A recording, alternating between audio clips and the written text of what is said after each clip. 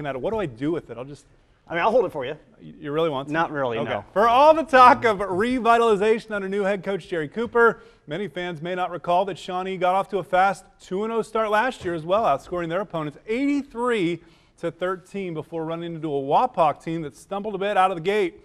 Redskins emerged victorious in last year's matchup 28-7 as both schools finished middle of the pack in the Western Buckeye League, a result that neither Cooper nor Wapak head coach Travis Moyer want to duplicate this season. This is our game of the night here on TV 44. Catch it at 11. Jumping jacks. We need some of those. Tough running early on.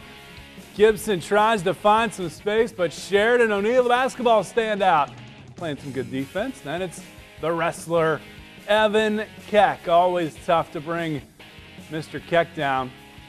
And he carries the mail here. Then it's Herb looking to throw. He has to take off and run. Nice handoff. There's Keck for a few more. And then I think we're going to get Herb taking off here. He's Here we go. Yep.